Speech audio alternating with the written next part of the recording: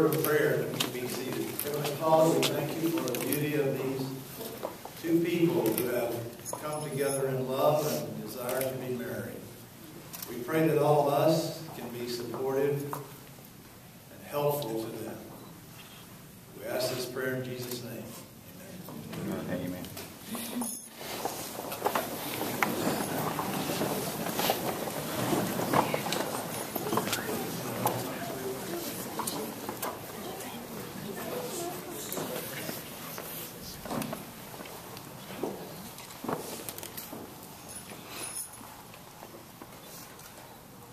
Submit to one another out of reverence for Christ.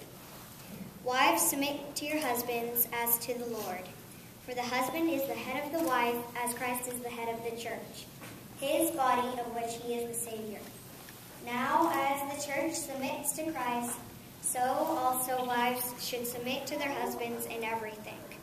Husbands, love your wives, just as Christ loved the church, and gave himself up for her, to make her holy, cleansing her by the washing with water through the word, and to present her to himself as a radiant church, without stain or wrinkle or any other blemish, but holy and blameless.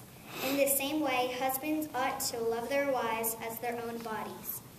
He who loves his wife loves himself.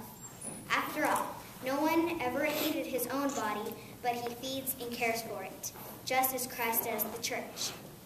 For this reason, a man will live will leave his father and mother and be united to his wife, and the two will become one flesh.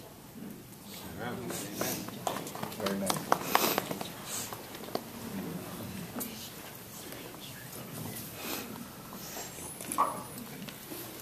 On behalf of the bride, Stephanie Nicole Concepcion, and the groom, Nathan Cordell Toms, we extend a welcome to all of you.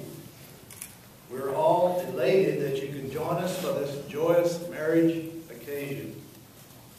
In addition to witnessing marriage vows and celebrating with the couple, every wedding is a call to reflect on the first lover, that is God. In Francis Thompson's Hound of Heaven, God is the great lover of our souls.